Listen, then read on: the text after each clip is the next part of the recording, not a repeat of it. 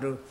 いろいろな顔をご覧に入れましてさぞお力落としもございましょうこれも何かの因縁と諦めてしばらくの間ご辛抱のほどを願っておきます。えー、月焼き場は剥げやすいとか申しまして人の真似自分の腹にないということはどうもうまくいかないもんで「ああ田中さんいますかね？大変だよね田中さん。大変だよね大変だ」また始まったな「ああ分かった分かったよ。さあお入りお入り。あ今日は何が大変だ？いやえらい大変なんだよ。あのね、えー、千葉県の方でねえー、牛が卵を産んだんでなんで牛が卵を産んだんですよ。お前ね世の中に牛が卵を産むわけがないだろ。え？牛が卵を産むわけがないだろ。そんなこと言ってやしませんだって今お前さんが牛が卵を産んだって。いやいやねん、えー、牛が卵を踏んだっつったんですなんだ？牛が卵を踏んだっつったんですよ。踏んだのかい？ええあのね牛が暴れてね牛のあの鳥小屋の方へ入ってきてね産みたての卵を全部踏んづけるしもうめちゃめちゃに壊しちゃってね牛の足はもう卵だらけで こんな気味の悪いことはねくだらないことを言って今日の大変っていうのは何だ？実はねえー、仲裁を頼まれてね仲裁？喧嘩でもあったのか。そうじゃねえんですよ。ほらよくやるでしょうがね。こうあのー、花嫁と羽婿の間へ入ってさ2人こううまくまとめるこう仲裁役がそれは仲人てんだよ。そうです。そいつを頼まれてねお前さんが「へえ、友達か？友達じゃねえんですよ。あのー、大通りの石屋さんね。あそこです。大通りの伊勢屋さんってお前さん大家だよ。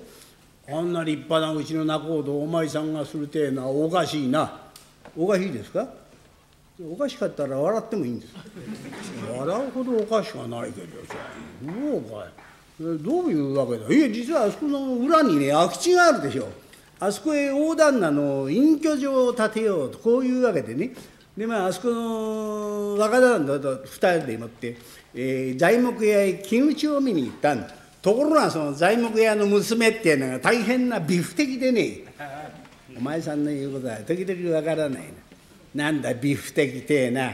美人で素敵なんだそいつを詰めてこの美不的とこういうんだいい女が美不的か？悪い女がライスカレーってくだらないことを言うんじゃないよ。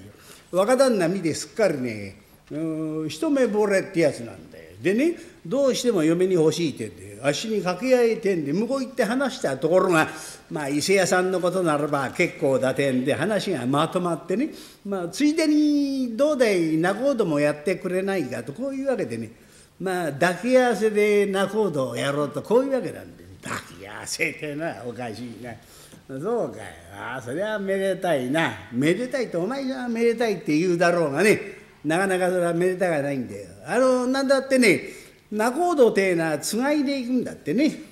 あのメスオスで。なんだよメスオスとは。おかみさんを連れて行くんだよ。そうだって。でかかに話したところがかかの言うにはねそんな立派なうちの仲人をするのに来たままじゃいかれねえとこう言うんで着物がね。それにねお前さんだって腹獣式じゃとても務まらねえからない縁と諦めてこれはお断りをした方がいいってこう言いやんだから俺はそう言っちゃったよ。何を昔やがんだってんだ。うちにはねえってんだ。自慢じゃねえがうちにはねえ。うちにはねえけどあの横丁の田中のあのハゲのところへ行ったらあそこには紋付きの1枚や2枚あるだろうから。それにあのハゲのところのババアが若いうちに着た着物もあるだろうから。それもついでに借りてくるってんでね。もしも貸すの貸さねえの嫌がったらあのハゲもうただお金ってんでね出てきたんだよ。どうだい？貸すかハゲ。お前さんだね私のことを世間行ってハゲハゲ。いや私だけじゃねえ、えこの町内に全部が言い出したのは私だ。なお。お前さんのことだから貸してあげようだがね。あ仲人というものはなかなか難しいんだよお前。礼儀作法というものがあってそんなの大丈夫なんだうちの母がね何でも奉公している自分に何で覚えてるとこう言うんだよ。お前さんとこのおかみさんなら口も八丁手も八丁なかなか器用な人だ。なんとかそこはやるだろうがお前さんがどうしてもやらなければいけないことがある。わしがね何をやるんです？ご祝儀をやるんだな。はいいくらかこう包んでこう持っていくんでそうじゃな。仲人のご祝儀というと高砂やこの浦船に砲をあげてという歌いだよ。ああダメだよ。あんな難しいことはしにはできねえ。ああできないだろうがどうしてもこれはやらなくちゃいけないんだ。まあ私だってもう座ったわけじゃないけれど聞き覚えだ何だったら教えてやろうかそうじゃあ教えてやろうおばあさんそのヨーダンスの引き出し上げてごらん白線が入ってたからこっちに持ってきなさい。ああここれでいいこれでいい。まずね扇子を手から離しちゃいけないよ。これをまあこういう具合に構える。まずこの姿勢を正しくするな。それからこの正面を見るな。あそれは腎臓が悪いんだねそりゃなんで腎臓が悪いって正面を見るって正面じゃない正面を見る。目が肝心だよ。いいかい？目とも言う。眼とも言う。眼とも言うな。英語でトラフォームとも言うまで返すんじゃない。いいかい？腹の中から力を入れて声を出す。聞いていなさいよ。いいかどこさよこの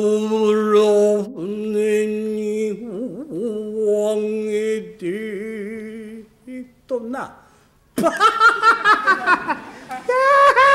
やどうも恥を知らねえっていうのは大したもんだねえー、よくそんな間抜けな声が出るんだよ本当に。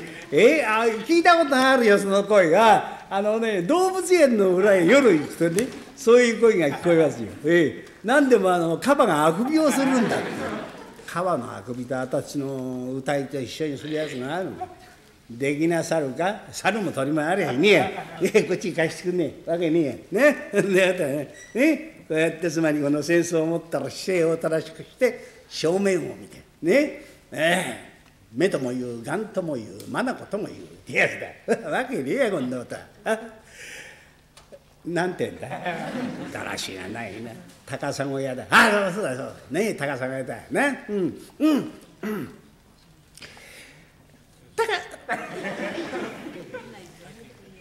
高高高高タカタカ。タカタカカエルだよそれ。ずーっと伸ばしてごらん。へへへへててててお話中の電話だよ、ね、ずーっとこういう声が出ないかなかなかそういう声は出ないよ。難しいんだからね。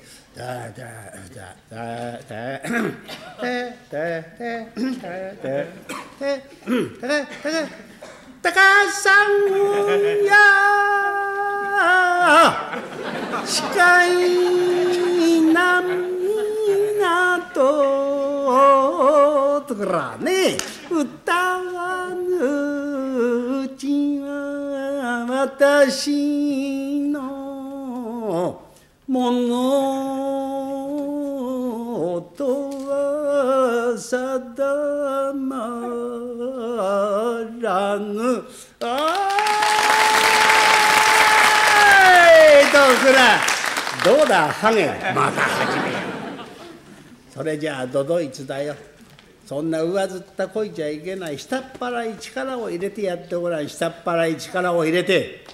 あれですか？うん。だからだからだからだからだからさんや。この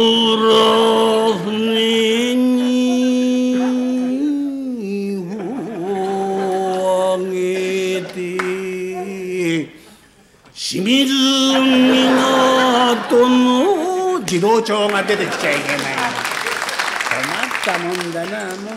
もうお前さん人の真似がうまかったな。この裏へ入ってくるあの豆腐屋さんであの年を取った人であのラッパも吹かずに売り声だけで来る豆腐屋さんが「ああありますよ。あの鼻の頭長いじじいでしょ。あの声があれあれあっしはねお箱なんだよ。真似ができるんでえ聞かせましょうか。ね。でと。おおこれはいいね。それだよ。これかよ。そんなら鼻から言ってくれりゃいいんだよ。でーとうまいなでーとぐらうまいよどー褒めてら豆腐ばっかしやって豆腐ばっかしじゃいけないんだよ生銀がもどそんなものは売らなくたっていいんだよその調子で高砂屋だよ。はあはあはあ。これで高砂屋やりゃいいんだああそうですか。いや高砂屋だとかあの豆乳なんてのは豆腐から取れるんだね。ええ初めて聞いたね。へえ高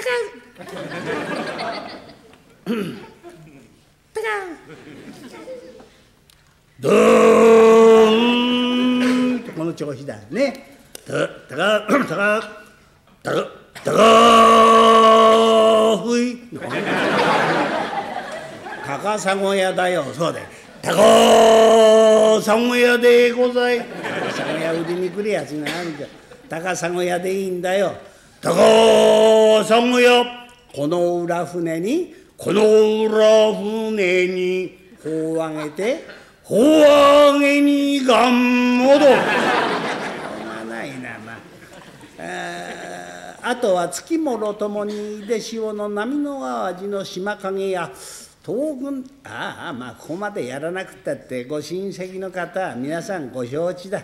後からきっとついてくださる。だからお前さんはねその高砂やこの裏船に帆を上げてとここまでやんなさい。あとは皆さんがやってくれる。ああそうかい。そんなのやりやってやすっかり覚えちゃったねええもう大丈夫なんですよ。ええじゃあその着物の方をあおばあさん着物ああの一番下のタンスにあるだろう。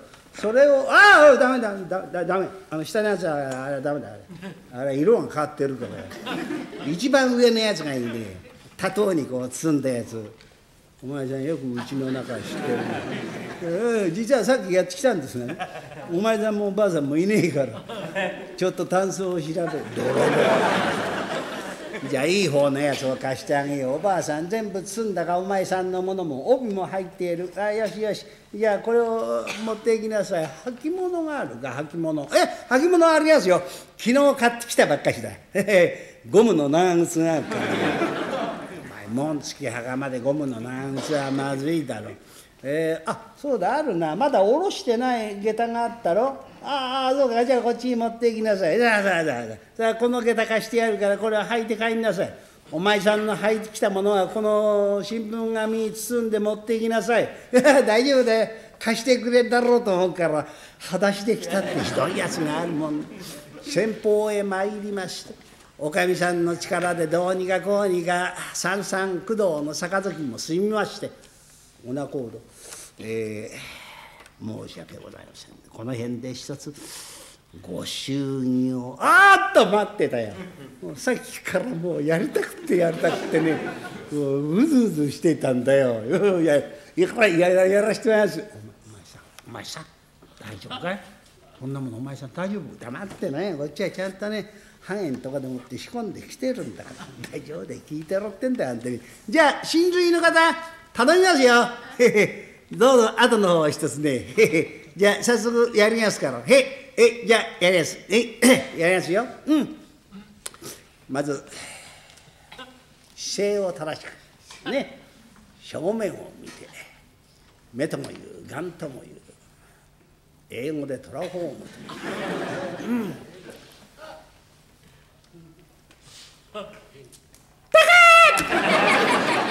あのどうかなさいやいや別にどうもしねえんだね。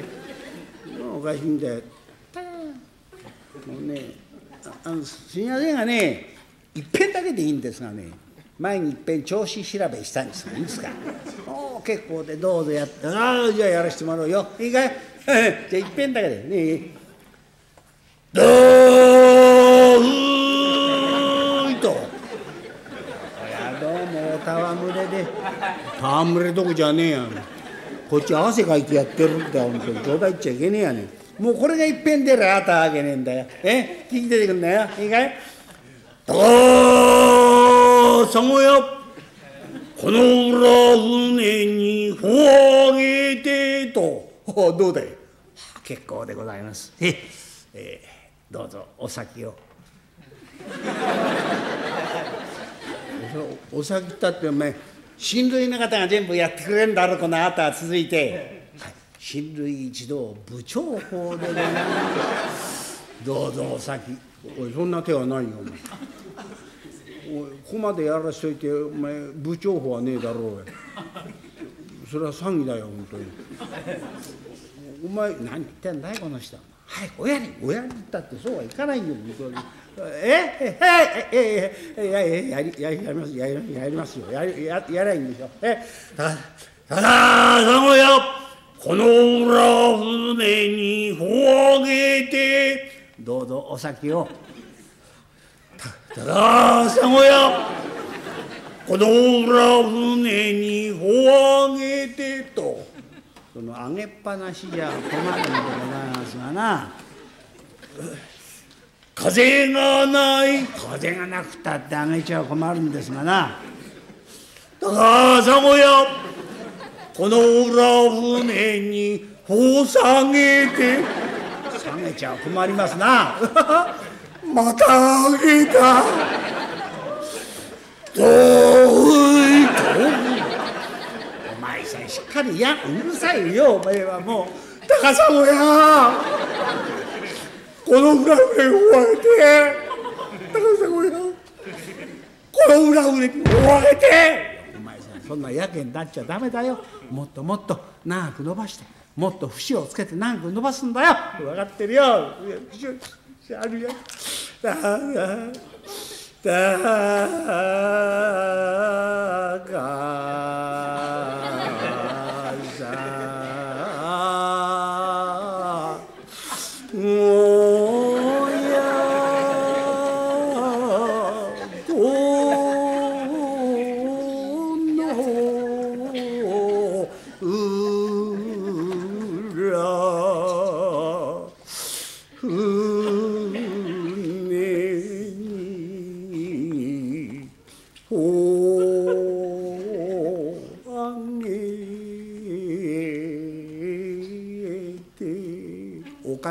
がそばから婚礼にご容赦。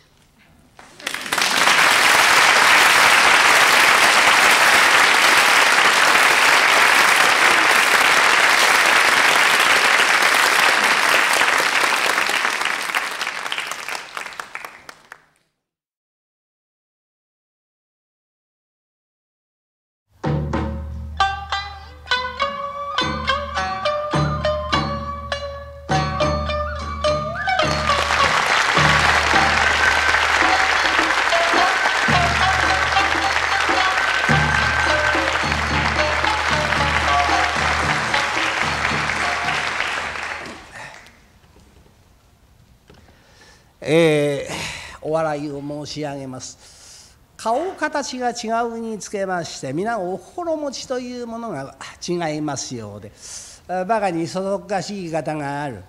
自分がかけている眼鏡を一生懸命になって探している方がある。マスクの上からタバコを吸ってみたり。人の名前を忘れる。これはまあ我々でもございますが中にはもう甚だしい方がいらっしゃいまして。ああ向こうから来た人どっかで会ったことがあるよあの人はあこっち見て笑ってんややっぱり知ってる人だよ。知ってる人だったらそばへ来りゃ何とか言わなくちゃならねえけれど嫌だよ。こっち来るよ俺冗談じゃねえな。俺弱っちゃったなほら。えっとどこの人だっけないやねどっかで会った。いやいやどう？えー、ご無沙汰いたしましてちっともお見かけいたしませんがこの頃はどっかへお出かけになりえ？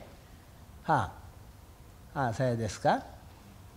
私そそっかしいもんでついおみそれをいたしましてどっかでお目にかかったとは思うんでございますがバカ野郎。俺はお前の親父だ。随分ひどい言い方があるもん。に、えー、我々の仲間でも随分そそっかしい人がおりまして名人の三代目小三師匠この方はもう大変にそそっかしい方で楽屋に置いてあるものは何でも持って帰ってしまうんで、羽織が置いてありゃ2枚でも3枚でも着て帰る。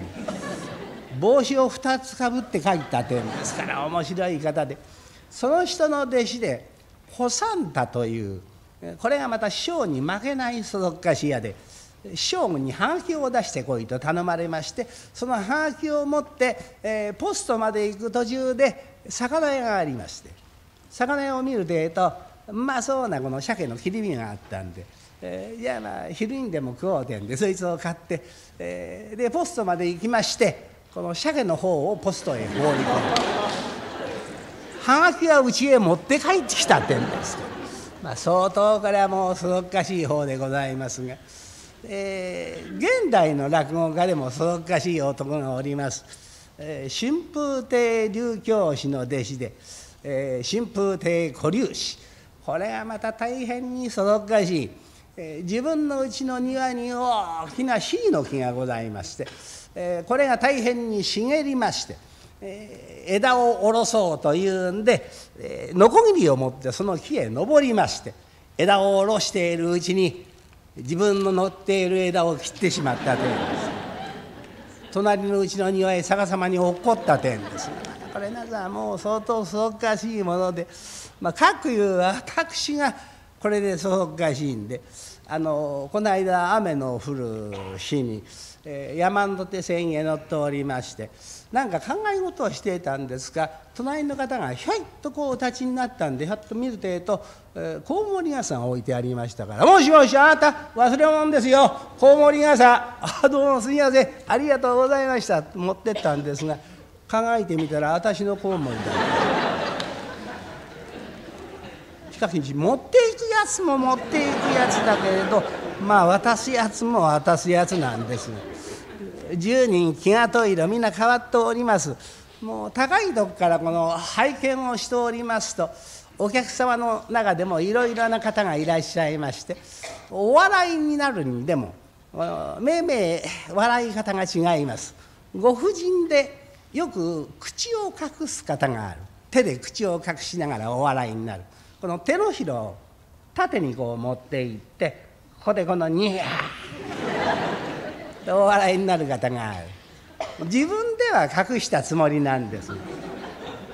手から両方口がはみ出ているんです。中にはこの横に持っていく方が。これはまあどんな大きな口でも剣直子でも隠れるようでございます。粋な方はこの蓮に持っていく方が、首一回りなんていうのはございません。全然お笑いにならない方というのがよくいらっしゃいます。こっちが一生懸命にやればやるほど何が悔しいんだか知りませんが私の顔を睨みつけている方がこういう方に限りましてお宅にお帰りになる。お布団の上へ座る。お茶かなんかこう飲みながら「あ今日の助六の話ははああそこがおかしかった」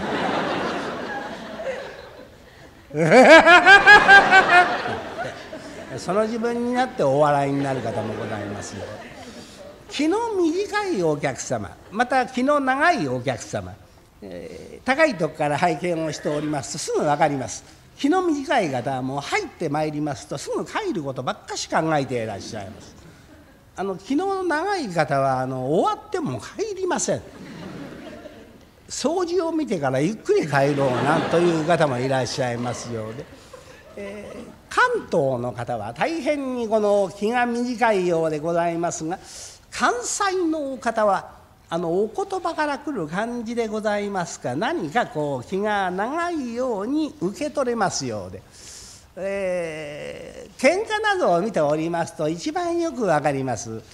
関東の方ではまあ電車の中で足を踏んだとか踏まれないとか「いてこの野郎いてじゃねえかこの野郎踏み合ったななんで俺の足を踏み合ったなんだこの野郎そんな小汚ねえ足踏むか踏んどきがあって小汚ねえ足とはなんだこの野郎。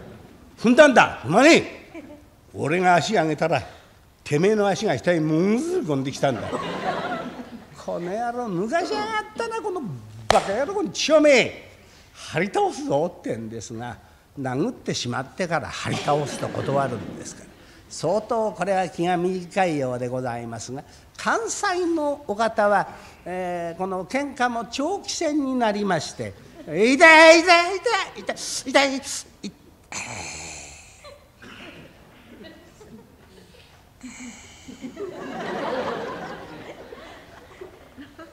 痛いなあた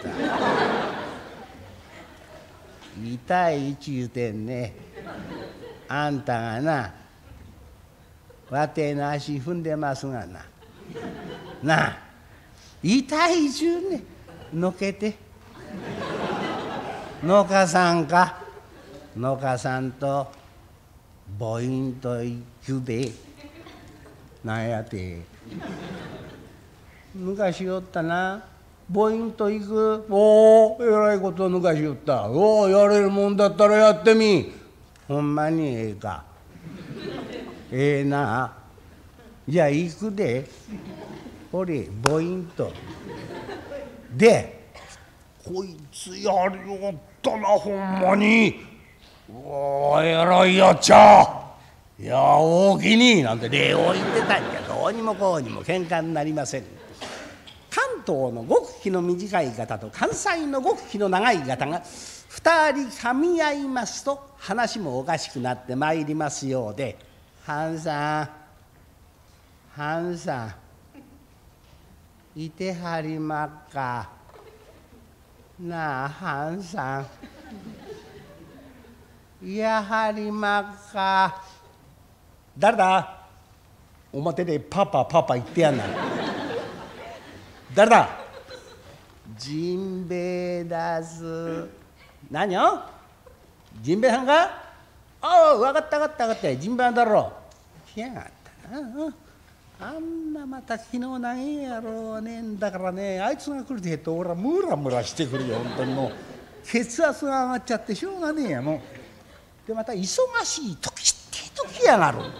不思議な野郎だねあいつ。分かったよ。分かったらはいご入り。え？はいご入りよ。開けてもよろしゅおおまか。開けずにおめえが入れんのか。格子を開けずにうちへ入るのは。風が幽霊がへだ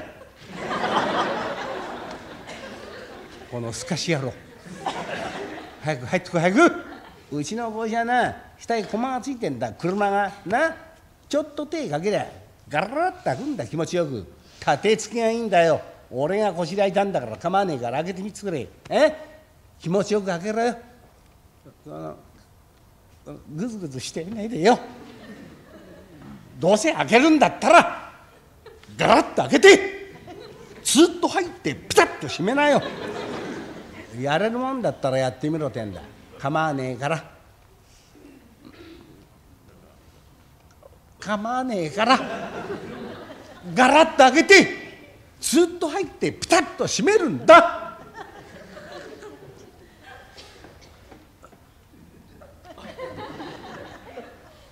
頼むからやってくれよ。そんな腰壊しまえ本当にもう。壊れたって構わねえ。力いっぱいピシャッと開けてみろ。ほら開いたじゃねえかよ。え喜んでたってしょうがねえじゃねえか誰がやったって開くんだよ。さあさあ入りおいさあお入り。中へ入るの。はいこっち。ほら。ほい。これ。敷居またげ敷居を。敷居をまたぐの。片っぽっつ。一緒に飛び込め。構わねえ前へポンと飛んでみろ。中入れるから。前へ飛ぶんだ。前へそうだ。入ったじゃねえか。後を閉めろ後。後を閉めろ。早く閉めろ。閉めたらこっちへ。来い。こっちへ来い。上がれ。座れ。なんだ。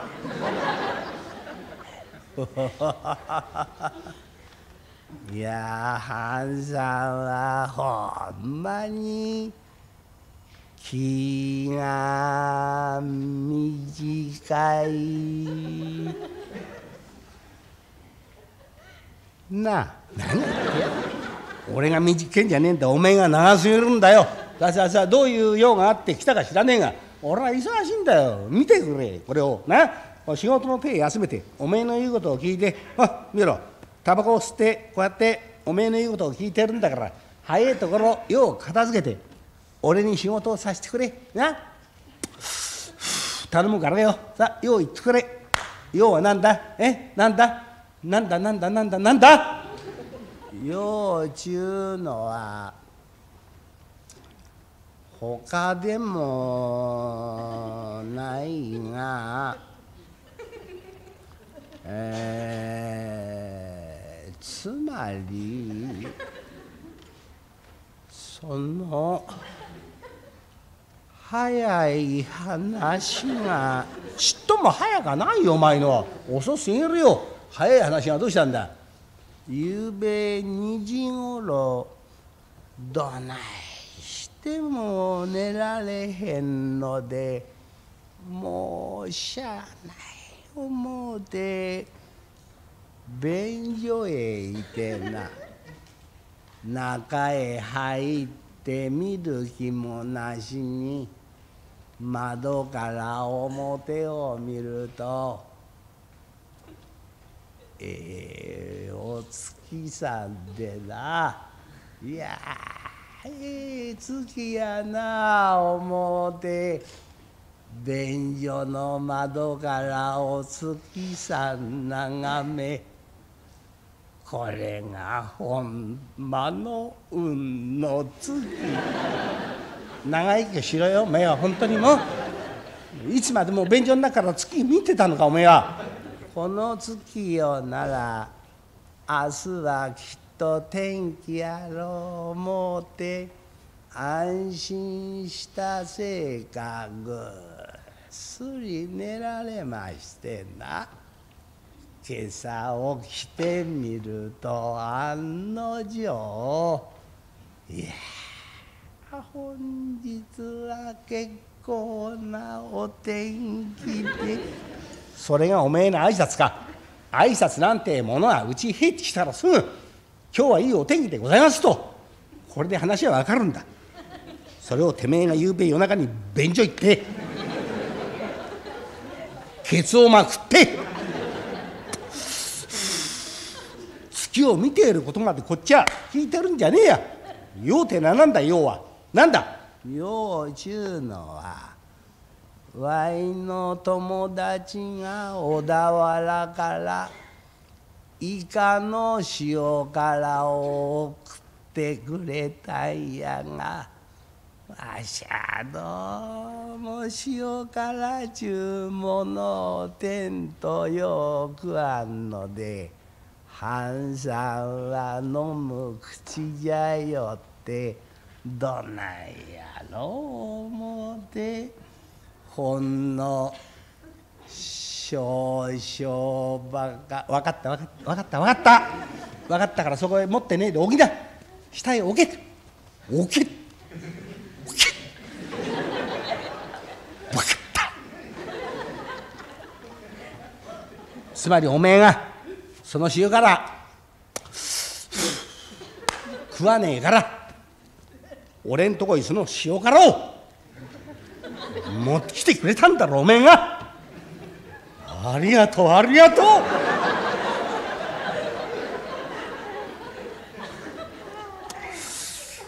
ありがてえちょめ本当にもう。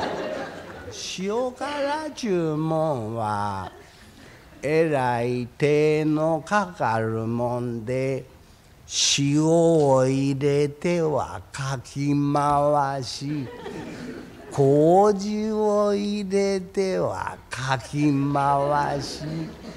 いやはや気の長いものだ。塩辛よりおめえの方が気が長いよ。塩辛置いたらもう用はねえんだろ。な？もう用はねえ。さあさあさあ早く帰ってくれ。な？早く行けよ。早く向こうへ。おいそら。ほら帰れそうすげえの言わんと。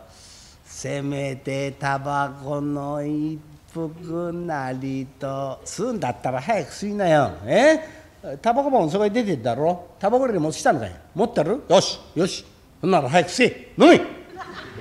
そうハンさんのようにせかされては。せっかく飲むタバコも。味がのうて。タバコなんちゅうものは落ち着いて。ってすわんことには。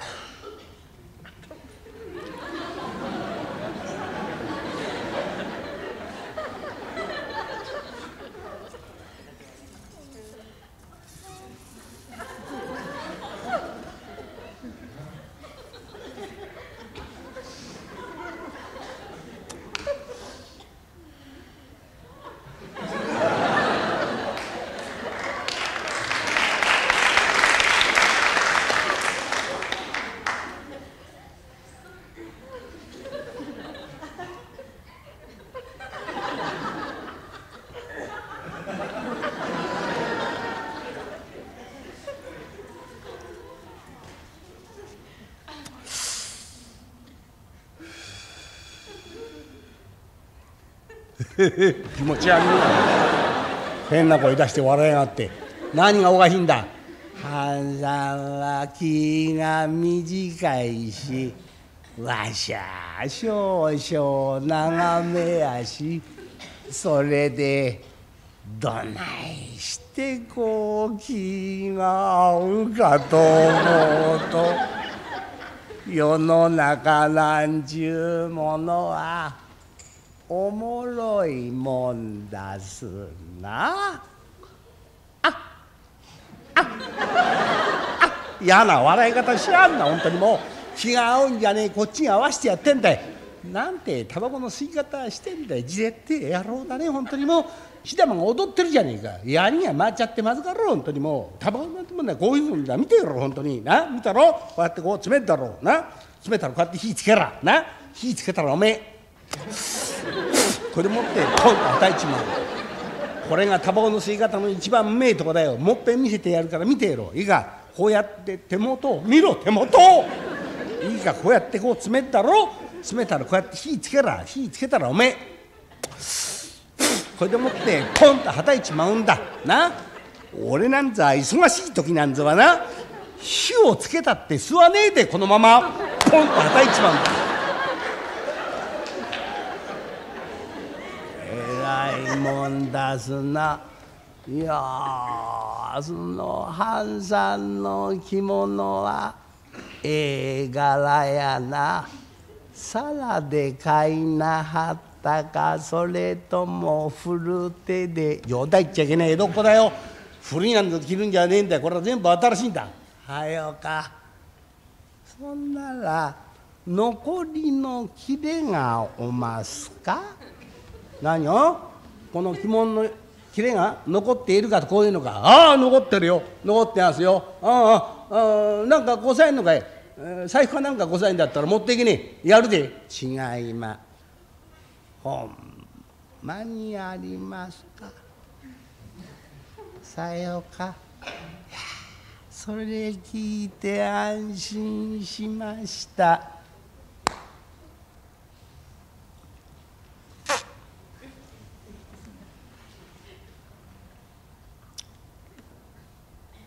さて何をさてだって軽技の工場だよまるで。さてどうした？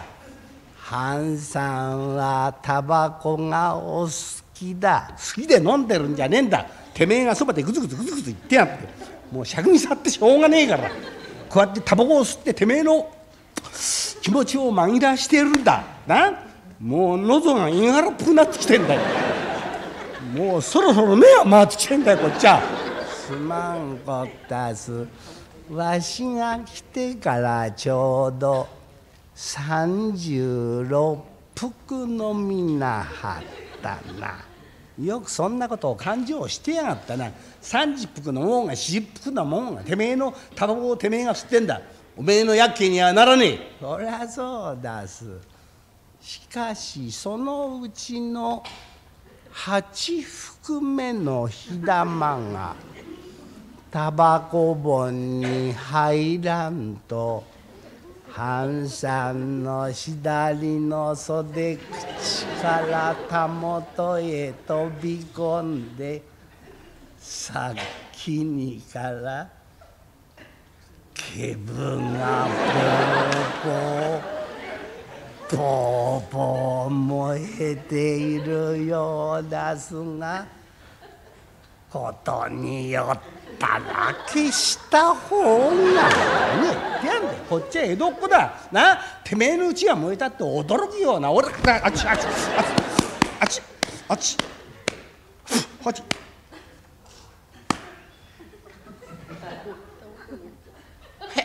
この野郎。なんててめえは気が長えんだ。何を？ことによったら消した方がよかろう。ことによらなくたって消した方がいいんだよ。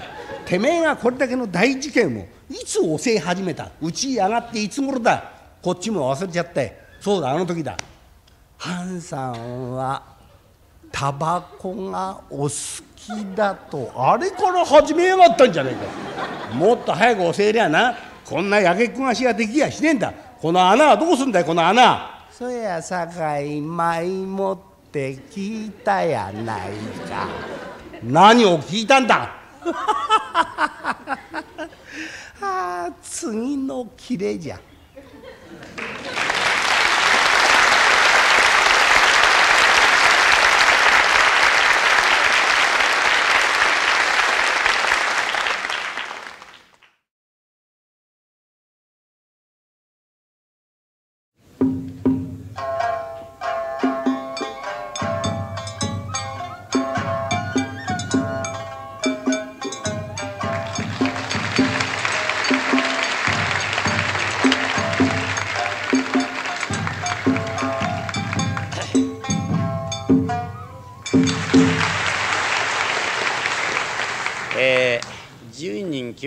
と申しますがお人はお顔の違う通りお心持ちが違いましてもっとも顔も心持ちも同じです。とこれ大勢様ですから混ざっちゃうといけませんが会場のお客様でもまあ気の短い方がいらっしゃる気の長い方がいらっしゃいまして気の短い方はまあお入りになって腰掛けた途端にもう出ることを考えてますし気の長いした演芸が終わって皆さん帰った後に残ってまあ椅子の勘定までやってる人もありますしね。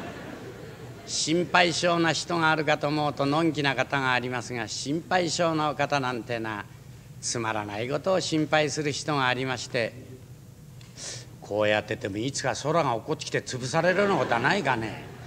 歩いてるうちに急に地割れしてそんなこと起こって怪我はしないかしら。向こうから来た女の人は随分お腹が大きいけど太ってんのが妊娠かな。妊娠ならご亭主はあんのかしら。中の子供は男かしら女かしら。男ならどんな名前を付けるだろうなんてくだらないことを心配してる人がありますが。中にはまた大変にこの慌てたそそっかしい人というのがあるもんでごくそそっかしいお方がまあマスクをしたまま椿をしちゃったなんて方があるそうですがね。あもうこういう方が家庭におきまして子供の名前を一人呼ぶのにうち中みんな呼んでる人がありますが「風明じゃない春吉じゃなし岩尾じゃなし民太郎お前だ」なんてなこと言いましてね。ああお湯行き時なんざまあ大変な騒ぎで「おいちょいと湯くんだろ古る人たらいかしてくれ」「いや手拭いとバケツ。いや石鹸箱だよ」でちょいとしげつたのこぎりじゃなし包丁じゃなしカミソリだよ。で切符じゃなしお湯煎だなんてバカにしまくかってね。男のくせに女湯入ったりなんかして。ああ女の人が泡を食ってったの変で女のくせにそそっかしい男湯入ってるってどっちがそそっかしいんだかわからないんですが。その代わりまあ粗骨のお方にはあまり悪い人がいないそうですね。そばからそばからものを忘れるくらいですからこの悪巧みてえことができませんから善人が多いせいですね粗骨の方には。そのせいかこの話家の善人にはまことに粗骨屋が多ございまして。先々代の名人と言われた柳家小三師匠がこれ有名な粗骨屋で失敗のお話は数ございますが、まあ、その自分には腕時計はありませんで、まあ、懐中時計下げ時計でございますね。セコンドの音を聞くのに鼻に持ってって書いちゃったってんですがね。お弟子に小三座という人があってこれがまた師匠に勝るとも劣らない粗骨屋ではがきを入れに行くのに途中でその鮭の切り身をしてきれ買ったらしいんですね。でポストへ来てこの鮭の方放り込んじゃってね。はっと思って逃げたってない逃げなくたっていいんですけど。まあそういうような底地屋がみんな我々の方のこの材料になっちまうようで「おう今帰ってたよ。あお帰りなさい。大変なことになっちゃった。大変なことに。お前さん表から帰ってくと大変だ大変だ騒ぐね。何が大変ですよ。何が大変だっておめえ。注射頼んで医者打ってもらわないか治らねえだろうと思って。いいことは勝手じゃないの。あべこめじゃないのさ。あべこめですよ。でそのあべこめやってもらわないから治らないんだよ。どっか体の具合が悪いの。で体どこも悪くねえんだけどね。友達のうちからおめえ表へ出たらね急に形が長くなっちゃったんだよ。やだねこの人の言うことは気持ちの悪い。なバカなことはないでしょ。ちょっと見しとこな当たり前じゃないのさ。草履と下駄と形っぱに入ってきたんだよ。治るかね？治るかって脱ぎゃ治るでしょ。なんだ？脱いでも変わらねえぞ。この人は草履を脱いでるよ。それじゃ同じだよちょいと。早く一応上がんなさいよ。てめえのうちで遠慮しやいねどうしてお前さんそうそぞっかしいんだろうね。ほら今友達とその話やってきたんだからこうそぞっかしちゃしょうがないけどどうしたら治るだろうったら友達に言うにはね新人でもしたらどうだってから俺明日から新人始めっからな。まあお前も覚悟しろな。お前さんが新人するのあっちが覚悟するほどのこともないでしょうけどさ。何様にご新人？え？何様にご新人？何様？新宿だよ。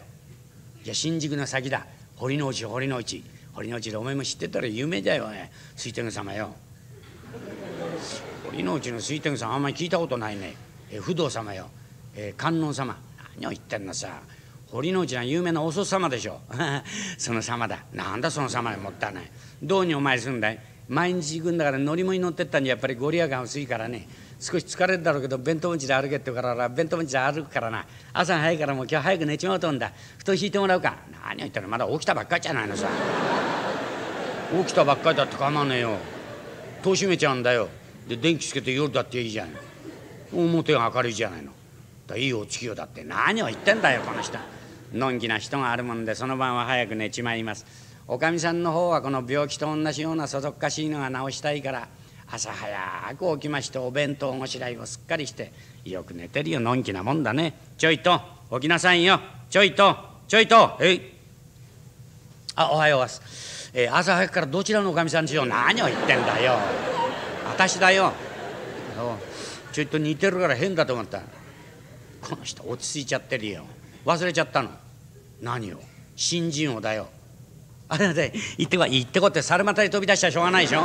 あ裸がどうも軽いっても当たり前だよ。顔洗ってご飯食べてゆっくりでくださいまだ時間は早いんだから分かった分かった。い顔洗うのは水のあるとこ行かなきゃな。かしらなからちょっと。水がねえな。タンスあげたって水はないよ。嫌になっちゃって人間やめたくなっちゃったな冗談じゃねえんだ。もしょうがねえよどっか。しゃなからしょってやら。これはまた水がたまらない。それはざるだよ。あざるだざるだざるいたまらない。不思議だよよいしょ。ああいい気持ちだ。嫌だよこの人お鉢の蓋で顔笑ってる汚いねそんなことしちゃって。それは布巾ですよ。布巾布巾それは雑巾でしょ猫を捕まえてどうすんだよ。どうもタオルが逃げるから変だだ冗談じゃないよこの人は。これから出かけんだ少し落ち着かなきゃダメじゃないのさ。でご飯はどうすんだいご飯は。あ起きたてで入らない。あそう。じゃあお弁当はたくさん詰まってあなたの枕元置いてあるからね。振り敷きもそばにあるから自分で餅に包んで持ってってらっしゃい。それからねあの財布の中お賽銭も入ってるから枕元置いてあるからね。あちこっちは手離さないから自分でやってちゃう。分かったよのことおめえがやってくれ亭主にやらしていいよ忙しくお前そっちやんなよ。って言っちゃうからいいよ。こっちはなこらしょってやら。しょとえしょってっちゃい。空手で歩けっからな。長道だから。あ財布があれやったからお賽銭だ。で下駄がねえな。下駄は玄関ですよ。あ下駄は玄関だ。じゃあ行ってくるよ。気をつけて行きなさい。道を間違えていけないからみんなに聞きながら行った方がいいね。分かった分かった。子供じゃねえけどいちいち言われても知らないてめえらあいつが尽きちゃったよとこれでも新人白くあのご利益でまた落ち着きも出るからな何でも友達あのお題目を唱える方がご利益があるってからやってみない定して難しいもんじゃねえから「生阿弥陀生阿弥陀生阿弥いやお題目が南明法蓮華経南明法蓮華経南明法蓮華経遅くなっちゃった。南明法蓮華経南明法蓮あちょいと聞きてんだがね。はいなんで？これ行くとあのほほほ堀之内のお祖様行くかね？お前さんどっから来たんだい？俺は神田から来たんだよ神田？神田じゃダメだよ。元来た道帰ってかなきゃダメだよ。ここは両国だよ。両国？あそれじゃあべこめにやっちゃったこれいけねえや。妙法蓮華経南妙法蓮華経南妙法蓮華経。西と東と間違った。南妙法蓮華経南妙法蓮華経。おおそい長い帯が起こってやないなんだ電車の線路かなんだしろ妙法蓮華経南妙法蓮華経南妙法蓮華経南妙法蓮華経。なんだか知らねえと俺んとこの長男によく似てるねおい。立花してのおっかそっくりだちょいとおまっつぁん。お前さんと人は何かしょいながらこっち行ってくるよ。なことないうちの人朝早く堀の内行っちゃったんだ。いるわけ。あ本当だよちょいと。何をしてんだねこの下今頃まで。ちょいとお前さんもうお参りにしたのかい？いやこれから行くんだ新規参り直しだ何をしてんだよいつまで。から驚いたね。一回り待って町内蹴っちゃったんだこれ急がなきゃいけねえや妙法蓮華経なん妙法蓮華経あちょいとその赤い服着てる人に物。なんだ郵便ポストが飲む口かねえ。妙法蓮華経なん妙法蓮華経あちょいと聞きてんだがはいはい。なんだね。明日どこ行くんだろう俺。やだよこの人のんきなこと言ってね人の行くとこは分かるわけねね意地の悪いこと言わないで思い出すが意地がいいにも悪いも他人様の行くとこは分からない。面白いしさお前さん今お題目を唱えてたじゃないか。おそさまにご参詣じゃないのか。いいんで知ってるくせにずずしいもんだ。が驚いたの。ほら刺してあげたんだよ。早く刺してくださいよ。ここは四谷だからね。この道をまっすぐ行くと鍋屋横丁とに出るから。それを左に回すと太鼓を叩いてる人が大勢歩いてるから一人でに行かれっから。あそうか。おいおい人に物聞いたらなんとか言ってけ。お前さんが言うんだ。どうもありがとうました。なんだだらしゃねえな余計なこと言って恥よ法蓮華経南明法蓮華経おみんな太鼓叩いてあれこんにちは。あこれお祖様だようやってきた。お祖様どうもあっしはそそっかしくてどうにもしょうがないんだ。これから毎日てまたお賽銭間があお賽銭忘れちゃったいとあと財布ごとみんなやっちゃった。あのお祖様それ10日ばかり前払いになっちゃったんだがね。明日から足ですから覚えといておくんねえな。妙法蓮華経南妙法蓮華経どうぞ私のそそっかしいのをご守護なすとおくんねえ。これよあったな。これ百なしになっちゃった。これ。ベッドを使いに茶店で茶も飲めねえな。これしょうがねえ。あすんませんがね。この本堂の縁側ちょいと借りてんだが。あお使いなさいよ。使うのは弁当使うんだ。あご随になさい。洗って洗って。何しろ飯を食わないでほばりて腹ペコだ。くしゃな。くらしょってきやらなんだよ風呂敷に旬がついてやらあれ両方に。なんだこれかみさんの腰巻きだよ冗談じゃない俺にやらせるからこんなもんねあ枕が出てきたよこれしょうがねえだから。だだからあいつがやってくれるんで俺にやらせるからこんなもの持って冗談じゃねえ。もしもしあなたその本堂の前で変なもの調べしちゃいけません。調べてんじゃねえ。呆れてるんだよ驚いたねどうこんな汚いものしょって東京じゃ歩いちゃったよ本当にどう腹ペコペコで呆れたもんであんちは武将するからこんなことになる。蹴ってったらうんとこうと言ったら場にしてやらんとに。おい今けっつって。おめえは武将して俺にやせがこんなもんって気をつけねえな本当に。亭主にこうやってニコニコ笑うやつはないよ。笑いたくなるよお前さんのちゃお隣だよ。あこれかね。どうもただいますいません。バカだねこの人。隣のうちで怒って自分のうちでわびりゃせやないや。まあ呆れて口がいけないなもの持ってってみっともない。私が気が付いたらあと追っかけたってお前さん逃げるし行っちゃったんじゃないの。こんなに遅くなって道を間違えてほぼ歩いてたんでしょお腹が空いたでしょまあ支度がしたからはいご飯おさいでご飯食べたらお行きなさいよ。疲れが抜けるから。ですまないけどお行く時ちょっと金棒連れてっちょうだい。私が風邪ひいて23日入れてないからこう真っ黒に汚れちゃってっから。んで帰ってくるとよばかりつきやんなまって金棒どこにいんだよ。奥にいますよ。金ちゃんや。金ちゃんお父っつぁんとお行きな。お父っつぁんって国やだい。どうして？これ逆さま入れたら何言ってる。ちょいちょいやるかい。ためだってやだよ。何でもいいから後ろに回れ。おぶってってやっから。ほらちょっと。大きなおけつだね。私だよ。あなんだ。よしこれじゃおいどこいつそら柱だよちょいと。はいごめんのからおふさつきだよ本当に。いつまでとっちゃんね奥さってんじゃん。早く大きくなっちまえな前の平ちゃん見ろこっちは13だったよ。どうだお前今年13になっちゃったらな無理なこと言ったってしょうがないおとっちゃんどこの行くんだよ？どこの湯ったっていつもの湯だい。いつもの湯ならもう通り過ぎちゃったよ。なぜ早く言わねえんだよそれを。あこの湯だ。頭気をつけろぶつけていけねえから。ほらぶつけた。ぶつけたなとっちゃんの頭だ。あそうか？あんまり感じが早いから親子にしてもおかしいと思って俺もじゃあ後ろ向きな着物脱がしてやっからけこんな赤いへこ帯しやがって母ちゃんにそういう男は男らしい帯締め申しましそれは今うちの子あげたばかりなんですよ。しょうがねえなんちゃどこ行っちゃったんだよあそこで裸になっても。おめえがちょこちょこするからとっちゃ始まりはいこういうヘリヘリヘリヘリ立ってとっちゃまだ着物着てんじゃないあそうかおめえ連れてくるからないてめえの体だけど俺はもて扱っちゃってんだからないいかい流しが滑るから手だけ敷かれてこいよクッションのクラッションのクッションのクッションよっこいしょ。よいしょと。ああ湯は確かに疲れが抜けるよと。今日は忙しかったよ。まった鼻が丸うと忙しかったよ。まったかな。いや目が丸うと忙しかったの。なんだおめえも俺も湯入ったら体同じように大きくなっておめえ体格がいいな。ちょっと顔を示してやおいおいおい。なんで人の顔。をどうすんません子供にしやすく信越られておかしいと思ったけどねどうこれはいけねえな。資料書いても感じねえな。代々女ケツいじんな。おい。金ちゃんこれとっても入っちゃいらんねえやこれと。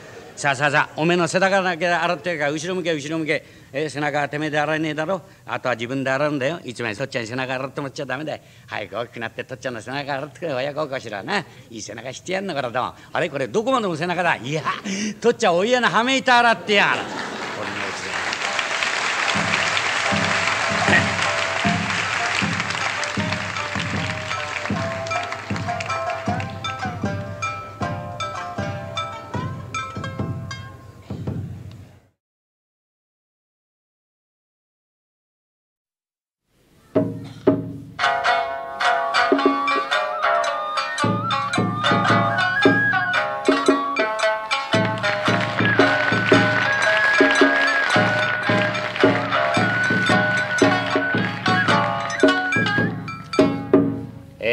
バカは隣の火事より怖いと申されますが落語の方はバカが主役でございましてバカに活躍をしてもらいませんと滑稽が薄うございますな。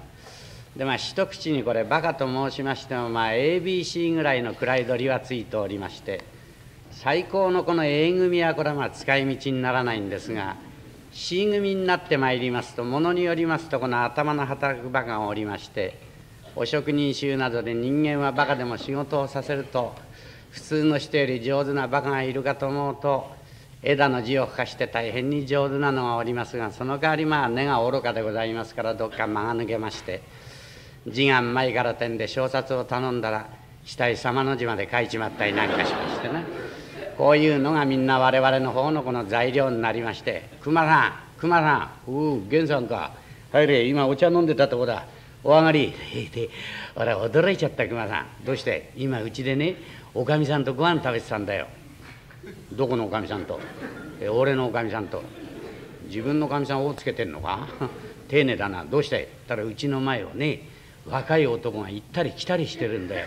それをおかみさん見てたけどね俺に嫌に気兼ねしてでしまいに出てきやがってね殿陰でその男とべちゃべちゃべちゃべちゃ喋ってんだよ。うん。それから俺は新張り棒持ってってね殿陰でゆっくり話聞いてみたんだ、うん、落ち着いたら「どうしたい?」そしたらねそれはうちのおかみさんの弟なんだよ。なあにゃ言ってな弟ならお前だって知ってるんだろ俺23だったけど忘れちゃったんだよ。でうち入れていろいろ話を聞いたら親父の金使い込んじゃったで親父がそういうやつは置けないってんでうち出されておじさんとこ行ったらおじさんも置かないってんで行くとこがねえから俺のうちのおかみさんが姉さんだからうち来ていることになっちゃった。で汚ねえ着物着てるんでね古着一枚買ってやることになったから。じゃあ俺買ってきてやろうったらねどうせ買ってやるんならまだ陽気が寒いから木綿の洗いざらしでいいから綿入れ買ってきてくれってからあいよって出かけようと思ったらまたおかみさん俺止めてね古着なんざ買い方が難しいからお前さんじゃ安く買えなきゃ熊さんと言って熊さん頼んだらどうだい？あの人人間がしっかりしてっから買い物うまいに違いないから。でもし熊さんとこ行って頼んで熊さんが忙しくて行くの行かねえの言ったらそこはうまくおだてちまえばあの人割合に人間おっちょこちょいのとこがあるから行ってくれただってそれで来たんだけど熊さん俺古着屋連れてってくんねえか。まあ、話は落ち着いてやってもらいたいなまったくな。お前んとこのかみさん熊さんなんだってえ熊さん人間しっかりして買い物うめって褒めてた。それから先喋ってみろだから熊さんとこ行って頼んで熊さんがもし忙しくて行くの行かねえの言ったらそこはうまくおだてちまえばあの人割合人間おっちょこちょいのとあるから行ってくれるあそうか。これ難所の話だよ。な難所の話俺の前でベラベラ喋っちゃっちゃ何もならねえじゃねえか。まあお前の言うことだから別に気にしないけどね。しかし偉いよね。おじさんも置かないところお前置いた縁に着物の一枚も着せてやれてその親切があるから俺はいいんだよ。だからお前好きなんだよ。そうだな。俺も別に用があるわけじゃ言ってやろうか。どこ行く八丁堀でも行ってみるか、ね、どどこでもいいから熊さん連れてってくれよ、うん、おう話聞いてたか。今ちょっとあの八丁堀まで古着一枚見に行ってすぐ帰ってくるから。じゃあ源さん行こう、うん、熊さんこんちゃんまたお忙しいとこすみませんね。なーにゃい。陰で変なこと言って面と向かってお世辞使ったってダメだよ。でねえ熊さんなんだい。熊さん買い物うまいうまいってなんかおまじないすんのか？いやまあおまじねえってことはねえがな。古着なんてのは多少買い方に呼吸があるんだよ、呼吸ってなんだい？まあ早い話が足元を見られにするんだな、それじゃ何履いてくんだ？いや別に何履いてくってことはないけどさお前が今日仮に古文の紋付きを買うって言ったらな。いや木綿の洗い出しの与えれか。いや仮にだよ。いや仮にだかなんだか紋付きだなんて俺そんなにお金持ってねえもの。いやこれは話だよ。話けへん。話ならなんだってたくさん買っちゃうよ。で向こうで品物を見せられた時小紋の柄といい色合いといい門は自分のとこの縄文で丸に喧嘩束みだ。俺んとこは丸に四つ目だよ。まあ仮にだよ。いやダメだ。門は先祖から伝わっちゃってんだから。俺の代じゃ帰らんしょうがねえなこの男は。だからだからじゃあまあ喧嘩ためでも何でもいいんだよ。でこれは自分の思う通りだってんで品物に惚れ込んで値段を聞いてごらん。10円のやつが12円ぐらいに行ってくるんだよ。古着はな。ここだ呼吸ってなかまねえからここで品物に傷つけるんだ。ハサミでか？いやハサミじゃない。口でだよ。食い切んのか？しょうがねえなどつまりねけなしちゃうんだよ。顧問は寝ぼけてるし門は自分とこの門と違うんだけどせっかく見たんだからこのまま帰ったんじゃ。冷やかしと思われてもなんだから値段が安かったら買ってやってもいいんだがいくらだとこう言ってごらん。10円のやつが8円ぐらいになってくるな。ここで4円違っちゃうじゃねえ。分かったかい、顧問で紋付きだから4円安いのかしょうがねえなこの男はどうも。お前と話してて俺の頭がこんがからっちゃ。おうこのうちはだいぶ品物あんな。ここでちょっと見てこう。えー、ごめんよ。いらっしゃいましどうぞお書きくださいましどういうものをご覧に入れますからあ安物でいいんだ。あの木綿の洗いざらしでいいから渡りで見せてくれ。承知いたしました。結構なおしおりでございまして。小僧や木綿の渡りでものこっち持っといで。いかがでございます？これは双子島で裏総裏で丈夫向きでございますがいかがでしょう？え？綿でございますか？近頃はもう古着屋と申しても決してインチキなものは願いませんで後々もあることでございますからちょっとご覧に入れましょう。あなたもご覧になればご納得めましょうから。この通り新しいのが入ってます。これはカーチ木綿ですがこれは丈夫でございますよ。水へ入りますと目もつみますし艶も出ますし鬼殺しと言っていいくらいの。これも綿をご覧に入れますかな。この通り皿綿だ。うん。おい源さん。ふい。何をしてんだよ。着物が引きずってるよ。足元見られるから何を言ってんだよ。いいかいこれはなんだよ。カーチ木綿で丈夫だとよ、うん、これ顧問が寝ぼけて何言ってんだよ。カーチ木綿だよ門がうちの門と違うしょうがねえなこの男はの。いくらだい？えいくらだい？えお安く願っておきます。朝商いでございまして縁起でございますから。もう同業者軒を並べてで脇様で相場を当たっていただいてからでも結構でございますが、えー、いかがでございましょうな？こんなとこでいかがでしょう、うん、おこれだとよ。えこれだとよ。え？そろばん持てよ。え？そろばんお持ちよ、遠慮なしにたまに言わしてもいいよ。え？遠慮しないでたまに言わしてもいいんだよ。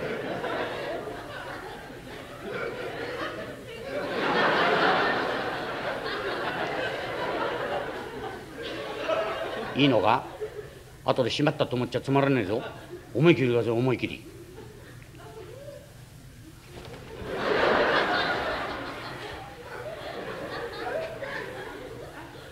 いいのか？うん。もう動かすとかねえや。こっち貸しな。12万3560バカ。そろばんが分からない分かるって断るがいいじゃねえか。この者たち俺まで恥かいちゃうじゃねえ。か着物見せら変なこと言うしおめっくれバカねえな。まあどが分からないお前のバカバカでや。こんなバカとは思わなかったな。熊さんそんなバカバカバカバカ言わなくたっていいじゃねえ俺下手だから熊さんに来てもらったんじゃねえか。でうちならいいけどこんなとこでじゃあ俺買うからいいよ。お前買いかい。俺は知らねえから。俺買うからいい。私に売ってないこの人より安くどうも喧嘩しちゃ困りませんもう私の方はどなたに願っても同じですから。でいくらだい？いくら、これでそれを出すから喧嘩になっちゃったんじゃねえか。口で言ってくれ口で。3円50銭ですが安くしといてもう決着のとこも申し上げて勉強になっております。安くしといて安く。3銭にえ3銭に3銭にってあんた3銭負けるんですか？いえ3銭にするんだよ。3銭にするっていうと台は？え台も腰掛けも椅子も何もねえんだよ。1銭2銭3銭それもらってこうか。たった？え立ったも転んだも座ったもねえんだ。1銭2銭3銭もらってから。小僧おい品物下げちゃえ品物お下げ下げあなた帰ってくださいよ。うちが島だからそうやってししやかしに来るんだ。しやかしにも程がありませんあなた。三銭三銭うちはね泥棒者商ってんじゃありませんよ。余震場泥棒者商ったって手数がかかるでしょ。三銭どうはい。どうぞ入りください。前中にいろいろ品物が揃ってどうぞはい。お帰りなさいってんだよ。あんたどうかしてやしないのかい。今朝顔洗った？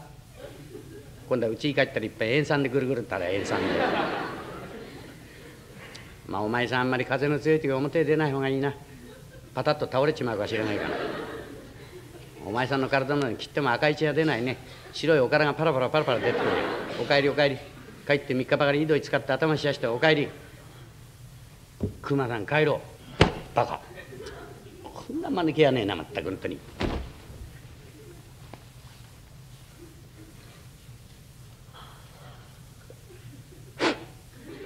おう。おめえはこの番頭か詩人か。番頭とそうだろう。てめえはまだ詩人って器じゃないよ。お前のうち一番花入ってきて着物見せてから誰だい。あなたと俺だろう。不人ななんだよ。それはもたしは玉はみんな汚しちゃないじゃねえか。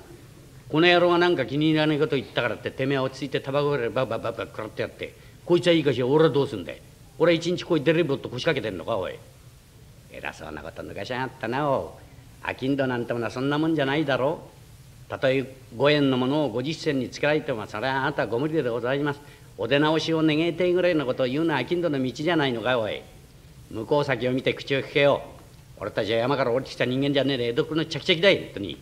てめえの間宮に下に光ったらなんだい。目だったらくり抜いて影干しにしてなタバコ入れのおじべぐらいしつけろちくしょう俺の言ってることは聞こえてんのかよ。てめえの面の脇にとんがってのはなんだい。耳でございます？しゃれたこと抜かしゃんねえ。なあ頭上げたり下げたりするかんだろちくしょうその缶を持ってぶら下げて23回ぐるぐる回してやろうか。塩酸で顔洗いっつったねおい。金隠しじゃないんだよおい。塩酸でつら洗ったらどうなんだよ。手の先つら塩酸で洗ってやろうか体を切っても赤い血が出ねえ白いおからがパラパラ切ってもらおう切って切ってもらおう切って切って赤いのが出なかったらなスイカじゃないけど赤いの取り替えるってんだ本当にもう俺が10年も若かったらてめえの上ごと下持ってプッとしちゃってくれてやんだから本当にてめえなんぞ使ってる七人の面が見て入れてこれ盗ってやるめまたなんてことをおっしゃるんでございます。私も言い過ぎたと思うから黙って聞いておるんですが盗人やろとは何でございます？私が何を盗みました？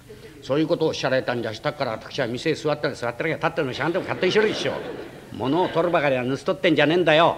てめえみたいに商売してやって商売の道を知らない商売盗人ってんだ。まぐめしゃとのげんこつでてめえの面投げつけてその面腹の中にめり込ましてるち本当に。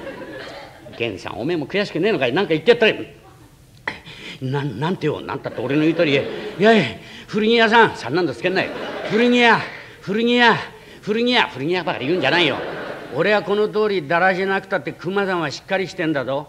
刑務所まで行ってね余計なこと言うんだよおお前お前のうち一番花入ってきて着物見せてくれたのは誰だよ。俺だろここにいんなそろばん持たしゃ玉はみんな汚しちゃうんだバカだそお前だよ。それはお前だよ。